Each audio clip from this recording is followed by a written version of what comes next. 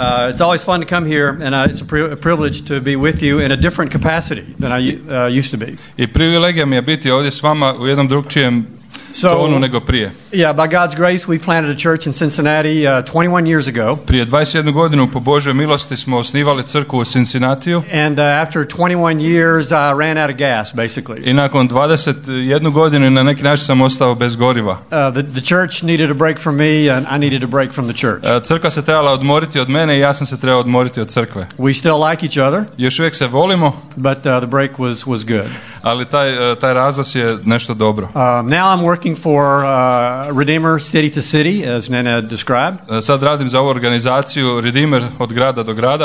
And it's a small organization out of New York City uh, committed to church planting in the great cities of the world. I to je jedna mala organizacija iz New Yorka koja se bavi osnivanjem crkava po cijelome svijetu. I, I wanted to share with you our, our five core values of City to City before we get into our, our text. I prije nego što uđemo u naš tekst, htio bih vam podijeliti s vama e, pet temeljnih e, vrijednosti, hvala, e, organizacije od grada do grada. Yeah, the, uh, so the first core value is church planting in cities. I prvo je, prva ta vrijednost je osnivanje crkava u gradovima.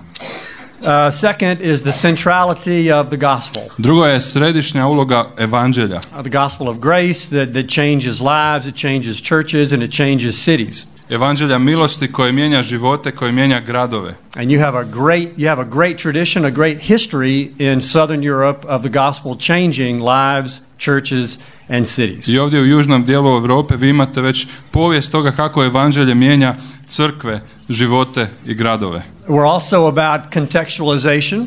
Također bavimo se kontekstualizacijom. The churches that we plant, we want to make sure they're speaking language that people can understand. Drugim riječima, želimo da ljude u kojima mi služimo a, govore jezikom koje ljudi razumiju And planting churches that connect with the culture around them. i osnivaju crkvu koja se može a, povezati sa kulturom koja ih okružuje. We believe in the gospel for the whole man, Vjerujemo da evanđelje a, je za cijeloga čovjeka, not just a gospel that saves souls, but a gospel that saves the whole man and offers deeds of justice and mercy to those in need.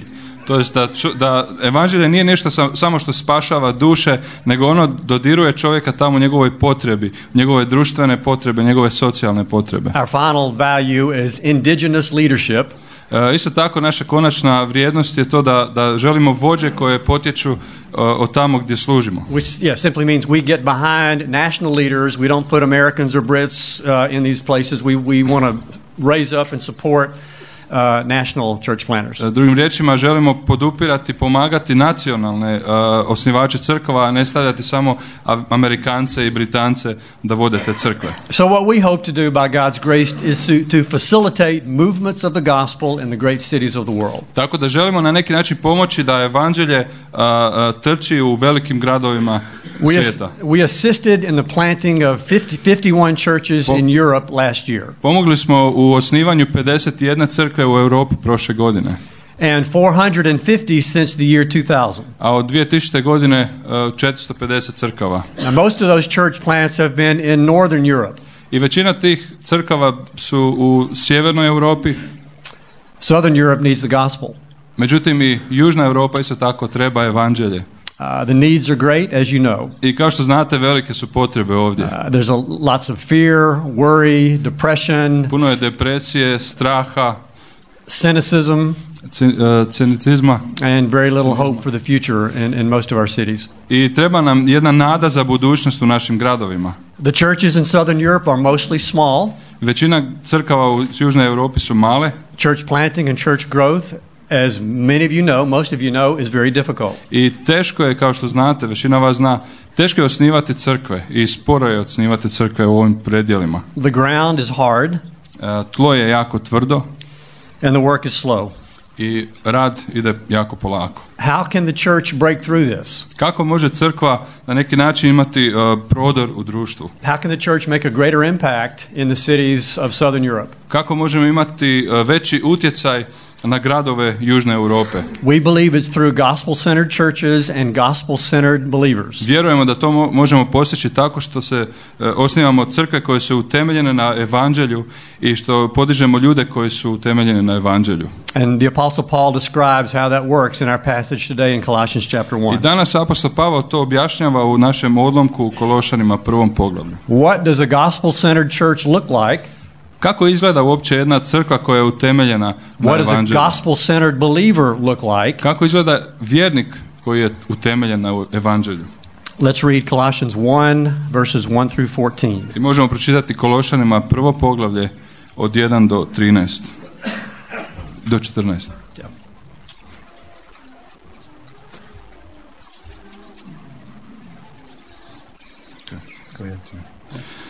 Pavao, apostol Krista Isusa, voljom Božjom i brat Timotej, Kološanima, svetoj vjernoj braći u Kristu. Milost vam i mir od Boga, Oca našega. Zahvaljujemo Bogu, Ocu gospodina našega Isusa Krista, uvijek kad molimo za vas. Jer smo čuli za vašu vjeru u Kristu Isusu i za ljubav koju imate prema svima svetima, radi dobra kojem se nadate i koje, vas, koje se za vas čuva na nebesima. Zanj ste prije čuli propovjedanjem istine, to jest radosne vijesti, koja je kod vas i kako je u svem svijetu rodna i napredna, tako je i među vama. Od onoga dana koji čuste i upoznaste milost Božju u istini. U to vas je poučio Epafra, ljubljeni naš drug u službi. On nas vjerno zastupa kao službenik Kristov. On nas je i obavijestio o vašoj ljubavi u duhu. Zato i mi, od onoga dana u koji smo čuli, ne prestajemo moliti za vas i prositi da vas Bog napuni potpunom spoznajom svoje volje, sa svakovrsnom mudrosti i duhovnim razumijevanjem, tako da živite dostojno gospodina, da mu budete ugodni u svemu, da budete plodonosni svakom vrstom dobrih dijela i da napredujete u spoznaji Boga. Da se ojačani svakovrsnom snagom, kako to odgovara moći njegova božanstva, osposobite za savršenu postojanost i strpljivost. Da veselo zahvaljujete Ocu koji nas učini dostojnima sudioništva u baštini svetih u svjetlu.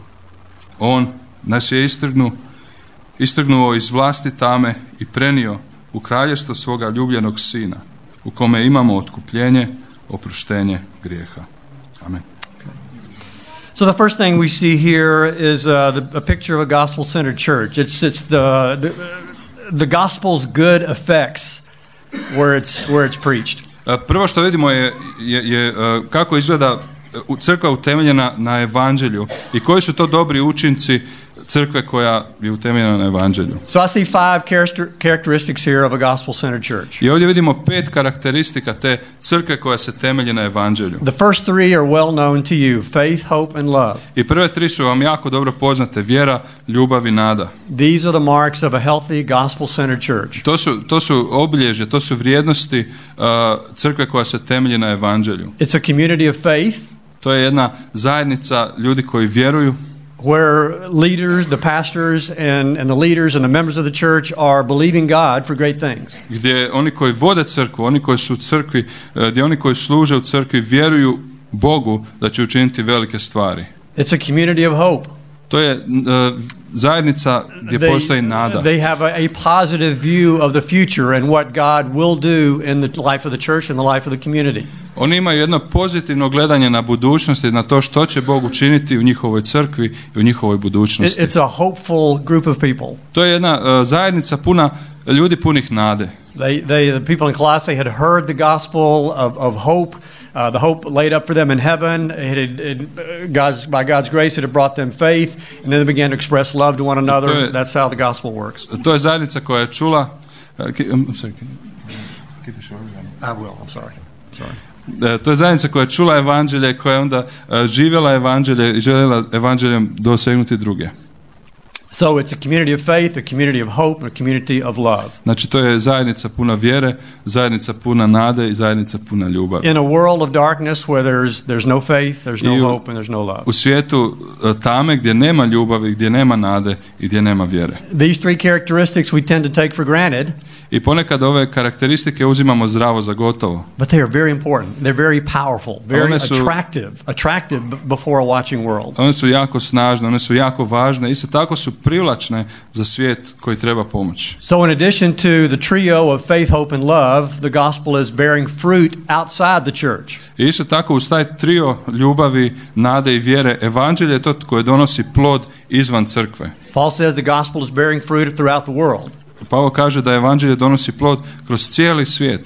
That was true then, it's true now. To je bila istina tada, to je istina isto tako i And he, sada. would- he would assume that the gospel is going out from this church as well. I mi isto tako uh, možemo pretpostaviti da evanđelje ide iz naših crkava vani. And then he says it's, it's also bearing fruit in us, in the believer. kaže, kaže da ono isto tako donosi plod u nama koji smo vjernici. He says not only is the gospel bearing fruit outside the church, but it's also bearing fruit among you, in Ne, sa- ne samo da evanđelje donosi plod izvan crkve, ono donosi crk, uh, plod u vama koji ste vjernici. So, how does the gospel uh, grow and uh, grow in us? Na koji način to evanđelje raste u nama? You know, the gospel is not just to get us saved. Evanđelje nije nešto samo što nas spašava, The gospel should grow in us and, and get us sanctified and conformed more to the image of Christ. Evanđelje je to koje nas treba isto tako posvećivati i suobličavati sa slikom Isusa Krista. So we see this in verses 9 through 14. It's a, it's a prayer. We'll talk about the prayer in a moment, but it's a prayer and a picture of gospel growth in a believer. I to vidimo u stihovima od 9 do 14 koja je molitva i više ćemo malo govoriti o toj molitvi. Međutim, to je slika na koji način e, evanđelje donosi taj plod u vjerniku. So when Paul talks about the gospel growing, bearing fruit among them, this is what he's talking about. I kada Pavo govori o tome kako evanđelje e, raste i donosi plod među njima, upravo je to ono što on, o He, čemu on govori. he prays that their lives would look like the characteristics he gives in verses 9 through 14. On se moli da bi, da bi njihovi životi odražavali te karakteristike on, koje on opisuje u ovim So let me give you eight characteristics of the gospel centered believer. I želim vam zato dati osam karakteristika jednog vjernika čiji se e, život temelji na evanđelju. First, he is filled with the knowledge of the will of God Kao prvo, on je ispunjen e, spoznajom Božje volje. in spiritual wisdom and understanding. On ima e, duhovnu, duhovno razumijevanje i mudrost. So the first thing the gospel centered believer knows is the will of God. I prva stvar što jedan vjernik koji se temelji na evanđelju, čiji se život temelji na evanđelju zna, to je Božja volja. You can't do the will of God unless you know it. Ne možete raditi Božju volju, činiti je, vršiti je ako je ne znate. And how do we know the will of God? A kako možemo znati Božju volju? Well, it's, it's in God's Word. Ona se nalazi u Božjoj riječi. So we need to know God's Word. We need to be in God's Word all the time. Može, moramo znati Božju riječ, mo- moramo stalno prebivati u Božoj riječi. So as we know what His will is, we will get spiritual understanding if the Spirit is working in us as we, as we read and study His Word. I dok čitamo Božju riječ, vjerujemo da Duh Sveti će djelovati kroz tu riječ i da će nam On donositi tu duhovno razumijevanje i duhovnu mudrost. So it's the Word of God and the Spirit of God working in the Word to uh, direct us in the will of God. Tako da e, Božja riječ i Božji duh djeluju u našim srcima kako bismo mi mogli onda donijeti drugima Božju riječ. So as we know the will of God, we'll walk worthy of the Lord. That's the second characteristic, walking worthy of the Lord. I druga karakteristika je to, ako poznajemo Božju riječ, onda ćemo živjeti e, dostojno gospodina. We walk in a way that's worthy of His name that glorifies Him. E, živjet ćemo na način koji proslavlja njegovo ime, koji je dostojan onoga ko on jest. The third characteristic is that we are pleasing to Him, Treća karakteristika je to da smo mi njemu ugodni. and this gets to our motivations. I to time dolazimo do našeg motiva. What motivates you on a daily basis? Odnosno do toga što nas motivira svakodnevno. You have two choices. You can live to please yourself, or you can live to please God. Imate dva izbora. Možete živjeti da biste ugodili sebi ili možete živjeti da biste ugodili Bogu. So the gospel centered believer lives to please God. I onaj ko, čovjek vjernik koji se temelji na evanđelju, on želi ugoditi And, gospodu. and not to please self. It's a daily battle, a daily series of decisions, isn't it? I zar ne, to je jedna svakodnevna bitka u kojoj se mi borimo da želimo e, ugoditi gospodinu, a ne sebi. And notice we live out of this out of this pleasing him. We want to please him because what he has done for us. I, I mi živimo e, s, ti- s tom motivacijom da mu želimo ugoditi. Zašto? Zato što znamo što je on učinio za nas. But because, because of what he has done for us in the gospel, then we want to please him. That's how our motives work in our heart. I budući da znamo što je on učinio za nas u evanđelju, mi želimo živjeti da mi budemo ugodni. The fourth characteristic is, is uh, the, the gospel centered believers bearing fruit in, in good works, all kinds of good works. Četvrta karakteristika je ta da oni koji, čiji se život temelji na evanđelju žele činiti dobra djela.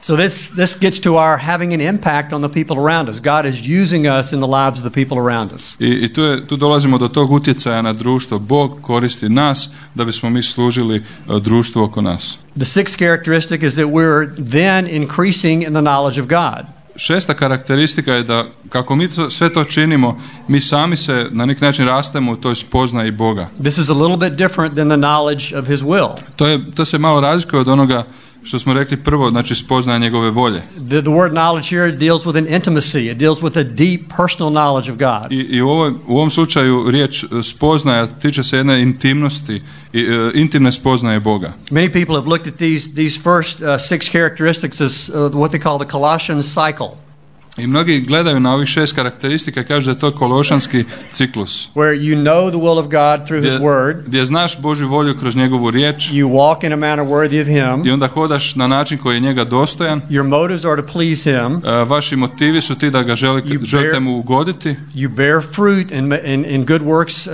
in, in the people around you, E, Donosite e, plod dobrim dijelima ljudima oko vas. and it's only then that you deepen your personal knowledge of God. I tek onda možete reći da produbljujete osobno intimno znanje Boga. It's gospel growth in the, in the life of a, of a believer. I to je jedan, jedan rast u evanđelju.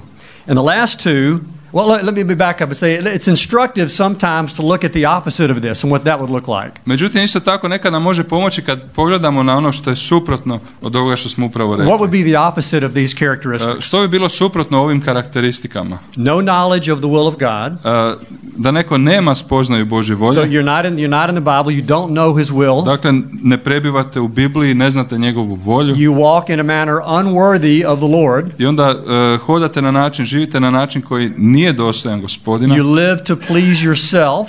živite da ugodite sebi, You're not having an impact on anybody around you, nemate utjecaja ni na koga oko sebe and you're actually decreasing in the knowledge of God. i zapravo se vaša spo- intimna spoznaja Boga tada smanjuje. So you're either one or the other. You're either increasing in your personal knowledge of God or you're decreasing in your personal knowledge of God. Dakle, može se dogoditi samo jedno od ova dvoje. Ili, se, ili rastete u spoznaju Boga, ili se There's smanjujete. no standing still. Nema uh, stajanja na mjestu. You're moving deeper into the knowledge of God or you're moving away from the knowledge of God. Ili više upoznajete gospoda ili ga manje upoznajete. Now, these last two are especially intriguing and I think challenging. I mislim da ova zadnja dva su zanimljiva, i isto tako su na neki način izazov nama. Number seven is you are strengthened with power with, with, according to his, his glorious might. Uh, broj sedam je da, da se vi, se, vi, vi ste oja- osnaživani, ojačavani u sili njegove moći. For what?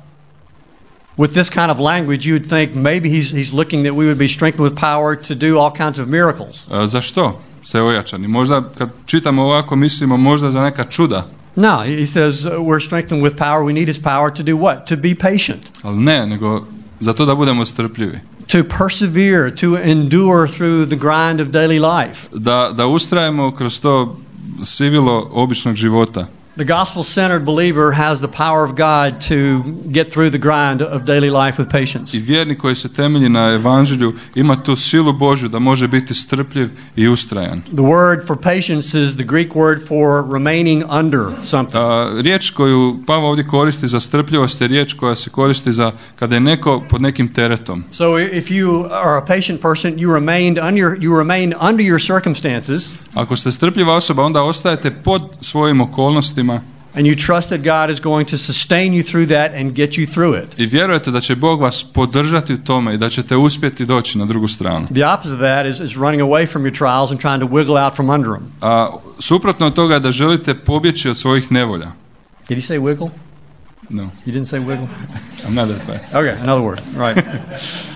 but think of it God's power is to give us patience, To je Božja sila koja će vam dati strpljenje to hang in there in our trials, da, da možete e, ostati u vašim nevoljama knowing that He is doing a work, doing a work in our hearts as we Jer- go through those. jer znate da on djeluje u vašim srcima dok vi prolazite kroz ta iskušenja. And then we can give thanks I onda joy. možete zahvaliti Bogu sa radošću. So I think the joy goes with the thanks and not with the, uh, with the patience. Jer mislim da radost dolazi, e, radost dolazi sa strpljenjem. Oh, sorry. I think joy, joy goes with the giving thanks and not so much with the patience. E, Radost dolazi sa zahvaljivanjem, a ne sa strpljenjem. I find it difficult to be joyful in my trials. E, Meni je teško nekad biti e, radostan u mojim nevoljama. Uh, that's my own personal problem, I think. I mislim da je to moj osoban problem. But at the same time, there's a gladness knowing that God is at work. Ali u isto vrijeme postoji jedna radost što znam da Bog djeluje. I'm not real happy about the trials and tribulations that I experience, I nije baš da se radujem u tim nevoljama i iskušenjima i tako dalje, but there's a gladness that God is at work. ali postoji radost da Bog djeluje, There's a purpose in it, da postoji jedna svrha u svemu tome and I can give thanks. i što mogu zahvaliti za to. So, giving thanks uh, is not to be underestimated. Tako da ne smijemo podcijeniti zahvaljivanje. It's another very important mark of the, of the gospel centered believer. I to je još jedna jako bitna uh, vrijednost tog vjernika ko- čiji se život temelji na evanđelju. In Romans 1, Paul talks back the characteristics of the pagan, the unbeliever. U Rimljanima prvom poglavlju Pavao govori o, koje o tome koje su to karakteristike jednog poganina. And he said there was a failure to do what? A failure to give thanks, to acknowledge God and give him thanks. I oni su podbacili u čemu? U zahvaljivanju Boga. See, here's the problem proud people don't say thank you very much. I evo problema, ponosni ljudi ne, ne zahvaljuju baš puno. Proud people don't say thank you very much. I'll say it again. Ljudi ne kažu hvala. Proud people don't know the gospel. Ponosni ljudi ne znaju evanđelje. So those are the eight characteristics of the gospel centered believer from I- Colossians 1. To su, to su, to su tih osam karakteristika vjernika koji je utemeljen na evanđelju. Now we have to take a look at the gospel. What is this gospel? Paul describes it for us here in, in, in very colorful language. E, I trebamo vidjeti što je to evanđelje koje Pavao opisuje ovdje jako obojanim e, rječnikom. In, in verse 5, we see it's the word of truth. The gospel is the word of truth. U petom stihu vidimo da je evanđelje riječ istine. It tells us the truth about who we are and who God is. Ono nam govori o tome tko smo mi tko je Bog. It tells us the truth about who we are before a holy God. Odnosno kaže nam to e, o tome tko smo mi pred svetim Bogom. and that we are sinners deserving his wrath and judgment. Da smo mi grešnici koji zaslužuju njegov gnjev. So the gospel always begins with the bad news, as you know. Tako kao što znate, evanđelje uvijek počinje sa žalosnom viješću. It's the word of truth about who we are. To je riječ istine o tome tko smo mi. But it's also the grace of God in verse 6. Ali isto tako ona je u šestom stihu Božja milost. So we have to be reminded that we don't save ourselves. Moramo se podsjećati uvijek da mi ne spašavamo sami sebe. We can't save ourselves in the beginning. We can't sa- save ourselves in the middle. We can't save ourselves at the end. Ne možemo spasiti sebe na početku, ne možemo spasiti sebe u sredini, isto tako ne možemo spasiti sebe na kraju. It's the grace of God, it's not of works. E, to, je, to je Božja milost, a ne djela. The gospel is also an inheritance. Evanđelje isto tako je jedna baština. We inherit all the spiritual riches that God has for us. Mi baštinimo sva ta duhovna dobra koje Bog nam je There's a couple ways of looking at this. It's God gives us an inheritance of wealth. Evo neki, nekoliko načina koje možemo gledati na to. And- Bog je nama dao uh, baštinu, And in some passages of Scripture, God is made wealthy by inheriting us. We're His inheritance. Uh, u drugim odlomcima Bog je taj koji se obogatio i baštinio nas. God thinks quite a lot of us I- as i His, Bog- as his children. Bog gleda na nas i, i voli nas kao svoju djecu, jako puno. So both are probably at work here in this, this I phrase. najvjerojatnije u ovom- izrazu je uh, puno toga na dijelu. The gospel is deliverance from darkness, Uh, Evanđelje isto tako je izbavljenje iz tame, the darkness of sin and guilt and shame and ignorance. od, od neznanja i, i uh, krivnje i grijeha. And it's a transfer to the kingdom of the Son of God. I on nas je prenio u kraljevstvo svoga ljubljenog sina. which is a pretty good transfer Što je jako dobar, dobar e, transfer from the domain of darkness to the kingdom of the Son of God. iz, iz, ovoga, iz ove vlasti tame u kraljevstvo. The gospel Bože. is, is redemption. Evanđelje isto tako je otkupljenje. Uh, redemption means uh, Jesus buys us, he purchases us, and we belong to him. Evanđelje, to jest otkupljenje znači da nas je Isus kupio i da mi sada pripadamo njemu. He paid a price that we would be his children by his, his blood on the cross, his death for us. That's the price he paid to redeem us, to buy us out of the slave market of sin. You got that? Yeah, sure. So, on, je, on, je, on je bio taj, došao je na tu tržnicu a, gdje smo mi bili kao robovi grijeha i on nas je kupio svojom krvlju, svojom smrću na križu. I sad smo mi njegove djeca. And with that redemption comes the meeting of our greatest need, and that's forgiveness of sins. I zajedno sa tim otkupljenjem dono- donosimo, a, dolazimo do naše najveće potrebe, a to je oproštenje grijeha. Forgiveness of sin, shame, guilt, Oproštenje grijeha, uklanjanje srama i krivnje. and complete acceptance I isto tako potpuna prihvaćenost for a God by a God who loves us very much. od strane Boga koji nas jako puno voli. So this is this is the gospel here in Colossians chapter 1. I to je evanđelje koje Pavao opisuje ovdje u Kološanima prvom And it is good news, isn't it? I ona je zbilja radosna, dobra vijest. It's Jesus saving us, blessing us. To je Isus koji nas spašava, koji nas blagoslivlja. He is the truth. He delivers us. He transfers us. He redeems us. On je istina, on je taj koji nas prenosi u svoje kraljstvo, on je taj koji nas spašava i otkupljuje. He changes us On nas mijenja, so that we desire to please Him, tako da mi želimo sada ugoditi njemu. and we love God and we love our neighbor as a I da bismo voljeli Boga i bližnjega svoga. Finally, we want to look in this passage. How does how does this gospel centeredness spread? I želimo vidjeti po, posljednju stvar u ovom odlomku, na koji način se ova usredotočenost na evanđelju širi. How does it bear fruit outside the church? Na koji način ona donosi plod izvan crkve. The uh, the man Epaphras, however you want to pronounce it, took it to Colossae from from Ephesus. Epaphras was either a layman or a, or a teaching elder from uh, Ephesus, Epafra je bio jedan uh, ili učitelj ili možda laik koji je živio u Efezu i on je donio evanđelje u Kolos. and he brought the gospel to Colossae. Ajde sad. Sad. You already said that? Okay, good. All right. Um, so the gospel comes through people E, Evanđelje dolazi kroz ljude and through the Word of God. i kroz Božu riječ. So what brings people to Christ, Što je to što donosi ljude Kristu? especially in difficult places? Posebno u teškim mjestima, tvrdim mjestima. Exposure to God's Word Uh, uh, kad je neko blizu riječi and exposure to God's people. i kad je neko blizu Božjega naroda. That's a, a kind of a dynamic one-two punch that wins the unbeliever to To je Christ. ta boksačka dinamika koja donosi uh, ljude Kristu. My uh, my boss uh, Tim Keller says, uh, "Forget friendship evangelism. Uh, moj šef Tim Keller kaže zaboravi uh, prijateljstvo, evangelizaciju kroz prijateljstvo. He says, just do friendship." Samo budi prijatelj. So let's let's uh, let's make friends with the people around us. That's how it begins. Hajdemo početi tako što ćemo biti prijatelji s ljudima oko nas. If Christ is in your heart, Ako je Krist u vašem srcu, if the gospel is central in your life, ako je uh, evanđelje ono, ono, ona, ona srž vašeg života, it will come out. ono će izaći. But see, the problem for most of us is we don't have many unbelieving friends. Međutim, problem je u tome sa, što većina nas nema baš puno uh, prijatelja koji su nevjernici. Or if we do, they're just acquaintances and we're really not getting to know them and they're not really getting to know us. Ili ako znamo puno ljudi tako, oni nisu zapravo pravi prijatelji, nego naši poznanici koje mi baš puno ne poznajemo i oni ne poznaju nas. See, we are the light of the world. Tako da mi smo svjetlo svijetu. Jesus is the light of the world, Isus je svjetlo svijeta. but he says you are the light of the world. Ali isto tako on je rekao i vi ste svjetlo svijeta. And light, to be effective, to be useful, has to come in contact with darkness. I kako bi svjetlo bilo učinkovito, ono mora doći u doticaj s tamom. So we have to go to the darkness around us Tako da mi moramo ići u tamu oko nas and let our light shine before men and i women. dopustiti da naše svjetlo svijetli ljudima. That's the language of Jesus in the Sermon on the Mount. To je Isus rekao u propovjedi na gori. And then good things will happen.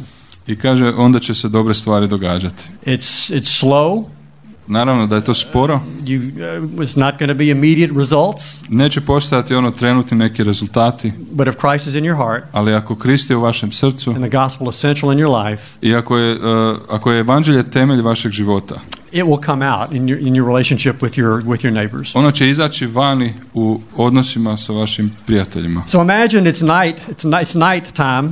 Imagine this is night, Zamislite sada je noć and there's a power outage, i da jednostavno nestane struje and all the lights go out. i sva se svjetla ugase. There's no light anywhere. Nema nigdje svjetla. And imagine this this is even harder to imagine. Nobody has a cell phone. I zamislite sada ovo, ovo je još teže zamisliti, niko nema mobitel.